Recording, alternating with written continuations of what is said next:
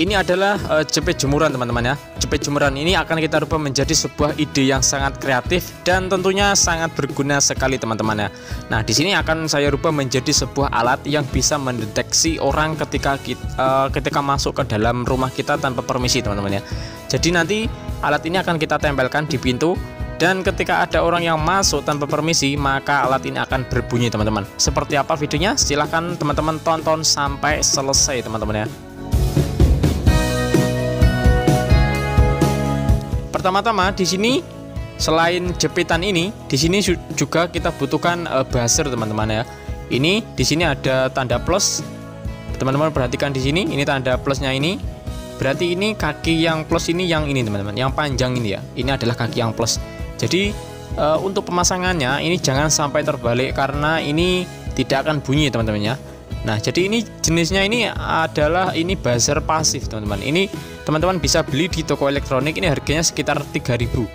Nah, di sini selanjutnya saya gunakan ini baterai 9 volt. Untuk merek teman-teman bebas ya. Yang penting ini baterai 9 volt, satu biji saja sudah cukup, teman-teman ya. Nah, sekarang bahan yang selanjutnya di sini ada soketnya baterai, teman-teman ya, atau konektor baterai 9 volt ini, teman-teman ya. Jadi ini untuk pemasangannya seperti ini, teman-teman. Nah, seperti ini supaya nanti bisa digunakan, teman-teman ya. Nah, jadi ini bahan yang harus teman-teman persiapkan ya. Nah, sekarang tinggal kita rangkai saja ya teman-teman. Jangan skip videonya, silahkan ditonton sampai selesai ya. Pertama-tama teman-teman harus siapkan baut seperti ini ya. Ini kecil sekali bautnya. Nah, segini ya, jangan terlalu besar ya. Ukurannya segini aja. Nanti akan kita tempelkan di sini teman-teman ya. Akan kita pasang di sini. Namun sebelum itu kita uh, kasih lubang dulu di sini teman-teman. Ini lubangnya kecil saja supaya nanti bautnya ini tidak longgar teman-teman ya. ya kita lubangnya aja di sini kecil saja untuk lubangnya. Oke jadi kira-kira segini ya. Ini kecil banget lubangnya. Jangan terlalu besar. Nah selanjutnya bautnya ini tinggal kita pasangkan di sini teman-teman. Di di sini ya yang udah kita lubang ini ya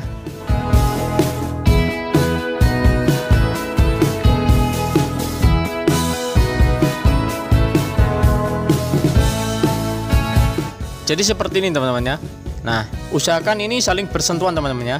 Jangan sampai tidak bersentuhan, harus bersentuhan antara baut bawah dan baut atasnya ini teman-teman ya. Nah, seperti ini. Selanjutnya di sini untuk baterainya ini, ini tinggal kita tempelkan saja di sini teman-teman. Kita kasih lem dulu ya teman-teman ya, supaya ini bisa ditempelkan di sini. Sekarang tinggal uh, tempelkan saja di sini baterainya teman-teman.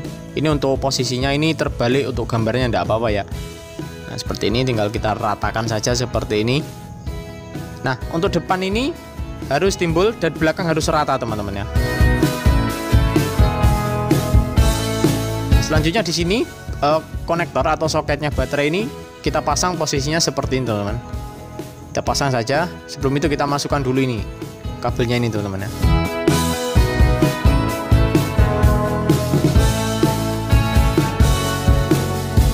Nah setelah itu kita pasang di sini. Ini jangan sampai terbalik. Terbalik pun tidak bisa ini teman-teman ya. Soketnya ini sudah pas ini ya. Posisinya kira-kira seperti ini. Tinggal kita rapikan saja teman-teman.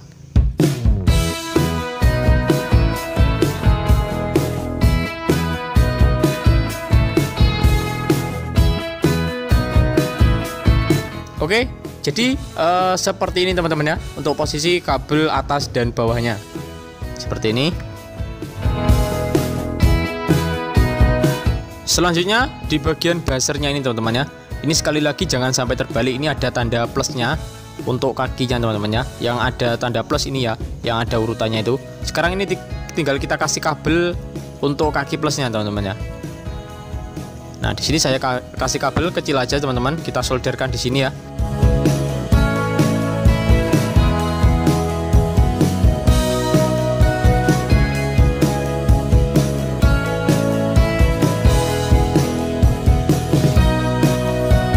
Nah selanjutnya ini tinggal kita rangkai saja di baterainya ini.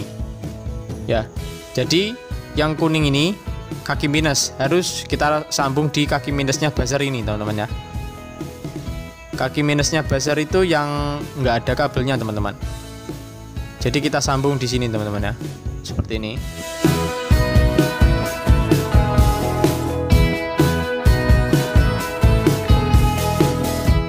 Nah seperti ini untuk skemanya teman-teman ya. Ini yang ada kaki kuning, yang warna kuning ini minus dan yang hijau ini adalah kaki plus teman-teman. Tinggal kita masukkan aja di sini seperti ini teman-teman. Namun sebelum itu tinggal kita rapikan saja dan kita kasih lem ya teman-teman ya.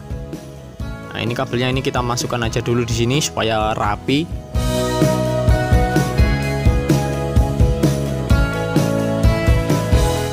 Di sini ini kita kasih lem tembak teman-teman ya. Kita kasih lem sedikit aja, ndak usah banyak-banyak. Lalu kita tempelkan di sini basernya teman-teman ya, supaya ini nggak lepas ini.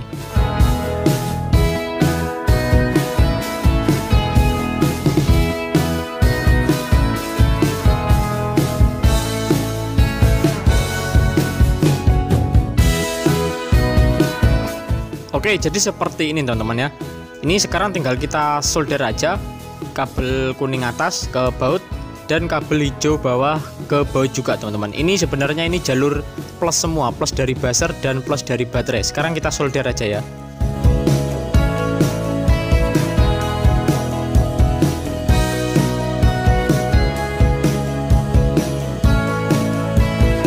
Jadi ini skemanya seperti ini teman-teman ya. Ini sangat mudah dipahami dan sangat simpel sekali. Bahannya pun ini tidak banyak teman-teman ya.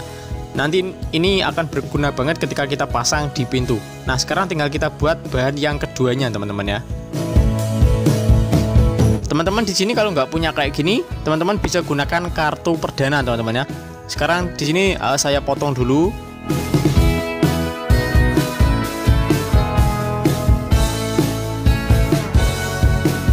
Di sini kita buat kecil aja seperti ini teman-teman, tidak usah terlalu besar ya. Kecil aja seperti ini. Nah, selanjutnya di sini tinggal kita lubangi aja kecil aja ya. Di sini kita lubangi. Selanjutnya kita pasang benang teman-teman ya.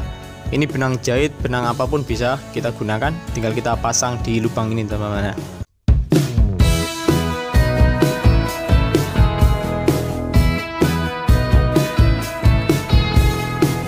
Jangan lupa di sini kita tali teman-teman ya. Kita tali saja di sini. Oh, biar ini tidak lepas teman-teman ya.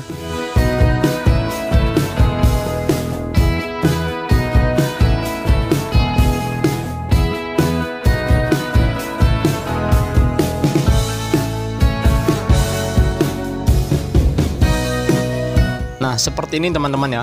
Selanjutnya di sini saya gunakan ini pop socket, ini bekas pop socketnya HP teman-teman ya. Nah di sini tinggal kita masukkan juga ini benangnya di tengah-tengahnya ini teman-teman ya. Kita lubangi lalu kita masukkan di sini teman-teman.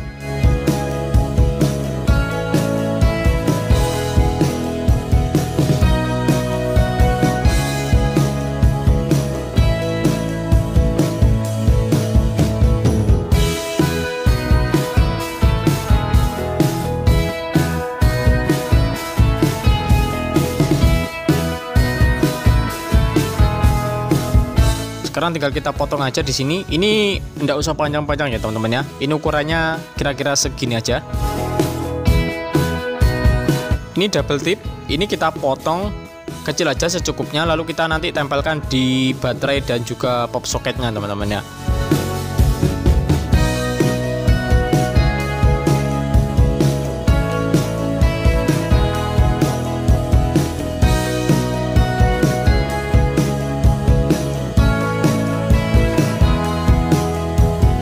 Nah sekarang uh, ini kita tempelkan di bagian belakangnya ini teman-teman ya.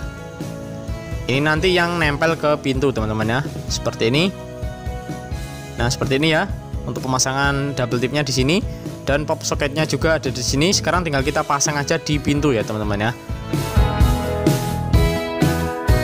Oke sekarang tinggal kita pasang aja. Langsung kita tes aja di pintu ya. Di bagian atas ya teman-teman ya pemasangannya harus di atas jangan di tengah maupun di bawah ya. Harus di atas supaya tidak terlalu terlihat. Jadi ini tinggal kita tempelkan aja di sini teman-teman. Kita kelupas dulu ini double tipnya ya. Oke sekarang udah terlupas dan kita tempelkan aja di bagian atas ini teman-teman ya. Nah posisinya seperti ini teman-teman. Oke sekarang pop soketnya yang akan kita pasang di depannya teman-teman ya. Ini kita pasang di depannya sini Oke teman-teman, jadi seperti ini ya. Ini ini harus kita pasang di sini teman-teman. Kita pasang di sini ya. Ini kita pasang di sini. Nah seperti ini. Jadi ini kalau ada orang yang masuk uh, tanpa permisi ya. Jadi ini akan bunyi teman-teman. Buzzernya ini akan bunyi ya. Sekarang uh, kita coba dulu untuk membuka pintunya ini teman-teman ya.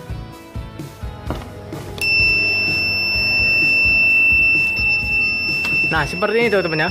Ini akan berbunyi seperti ini ya Tinggal ini kita pasang lagi teman-teman Nah jadi seperti ini teman-teman. Ini kita tinggal pasang lagi Dan ketika pintunya terbuka Atau pintunya dibuka Maka akan bunyi lagi teman-teman.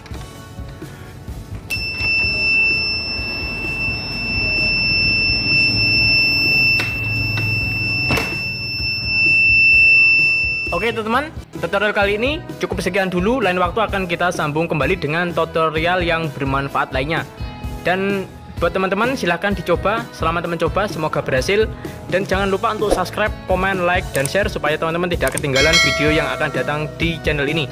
Oke, terima kasih. Lain waktu akan kita sambung kembali. Terima kasih, sampai jumpa.